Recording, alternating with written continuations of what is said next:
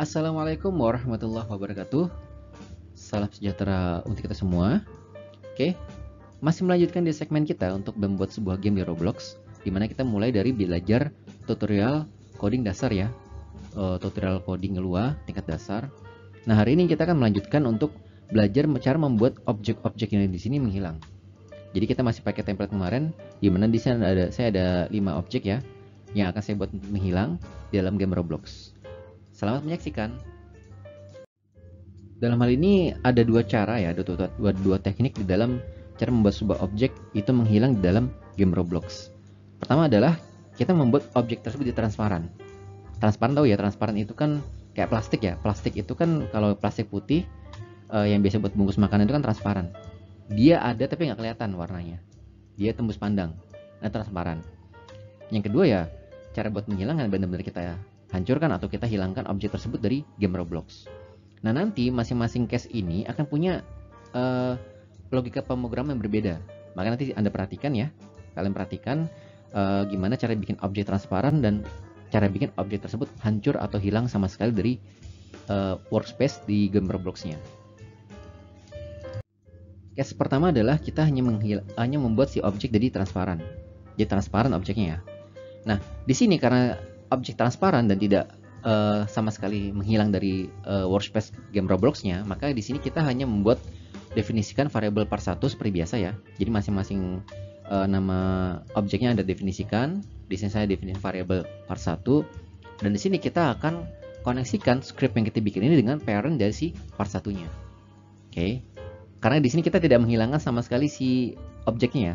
Hanya membuat si objek transparan. Jadi kita sama sekali tidak membuat uh, sebuah pengaruh terhadap uh, workspace dari si game Roblox itu sendiri. Ya, biasa udah saya jelasin kemarin ya.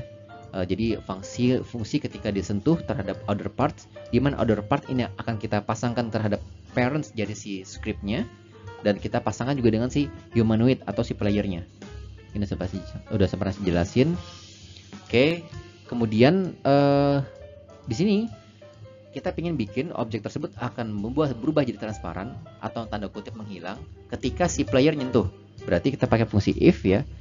Ada humanoid then kemudian di sini ada part 1 sebagai nama variabelnya. Kita akan ubah transparansinya jadi satu. Nah, Anda bisa main-mainan di sini nih. Jadi ini value yang ini itu kalau misalnya Anda ubah jadi 0,5, ya jadi akan agak sedikit uh, apa namanya istilahnya? transparan, tapi masih ada objeknya. Tapi semakin mendekati satu, itu akan semakin pudar warnanya, semakin pudar, semakin pudar sampai akhirnya kalau ketika satu dia akan totally hilang. Tapi bendanya masih ada di situ ya. Catat ini bendanya masih ada di situ, dia tidak hilang sama sekali bendanya. Oke, kemudian biasa uh, kita akhiri fungsi if-nya dan kemudian kita akan panggil lagi part 1 untuk dipasangkan dengan fungsi dari on touch tadi. Oke, ini uh, basic programnya. Oke, nanti kita akan demokan uh, gamenya langsung. Oke, jadi kita demokan gamenya. Pertama-tama uh, tadi di case 1 ya kita harus pastikan seluruh script sudah ditulis di masing-masing partnya. Oke, kita pastikan dulu di masing-masing part sudah ditulis script yang tadi sudah kita bikin. Oke, ya. Jangan sampai salah nulis script nanti dia akan uh, nggak jalan ya gamenya sesuai yang kita inginkan untuk codingnya. Oke. Kemudian kita lakukan play di sini. Nah, ingat ya, perbedaan antara transparansi dengan destroy itu adalah pada transparansi objek masih ada di situ. Dia jadi kalau disentuh itu seolah-olah player masih menyentuh sesuatu padahal nggak kelihatan. Nah, itu transparansi. Kita coba yang mana dulu nih? E, misalkan yang ini dulu ya. Oke. Nah, menghilang kan? Kan transparan, tapi dia tetap ada di situ. Nah, kan jadi seolah-olah si player nabrak sesuatu. Nah, itulah si si bricks yang tadi, tapi dia udah transparan warnanya. Kita coba lagi bentuk yang lain.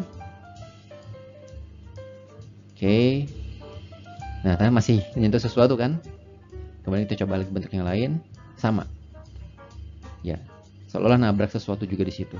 Oke. Ini pun sama juga.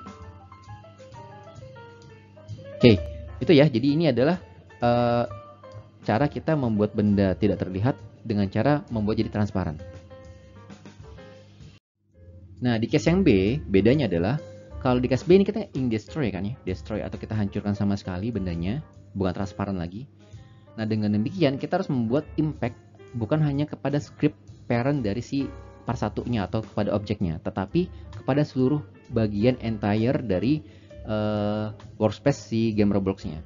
Makanya kalau Anda perhatikan di sini, di sini kita nggak pakai script parent lagi, tapi pakai workspace.part1. Artinya kita ingin membuat si part 1 ini terkoneksi sama seluruh bagian workspace-nya sehingga nanti ketika di destroy dia akan benar-benar total hilang dari seluruh arena permainan dari game Roblox-nya. Itu logika pemrogramannya ya. Ini saya skip aja udah pernah dijelasin.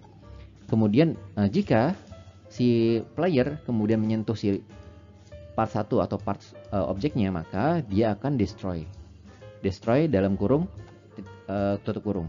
Buka dalam buka kurung tutup kurung maksudnya ya kita end, nah kemudian seperti biasa kita panggil part satu lagi untuk dipasangkan dengan fungsi on touch tadi. Nah beda di situ. Ini logika pemrogramannya. Jadi antara workspace sama script parent tuh beda ya. E, apa definisi atau kemudian maksud dari e, logika pemrogramannya. Oke kita sudah masuk ke sini ya. Kita coba demokan. Pertama-tama pastikan dulu bahwa semua script tadi sudah dimasukkan ke masing-masing part ya. Part 1, part 2, part 3, part 4 dan part 5 oke setelah kita pastikan semua benar scriptnya kemudian kita akan play gamenya.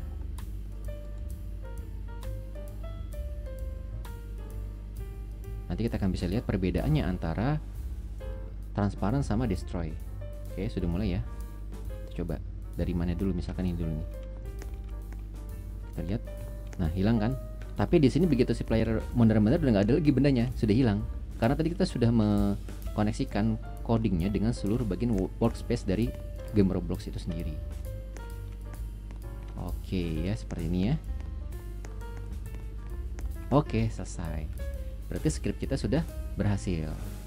Oke itu saja saya rasa ya eh, teman-teman uh, untuk video kali ini. Uh, next video saya akan uh, ajarkan gimana caranya bikin si player bisa mengambil koin dan akan menambahkan value dari file itu sendiri di ladder statnya. Oke, saya, saya cukup sekian. Assalamualaikum warahmatullahi wabarakatuh.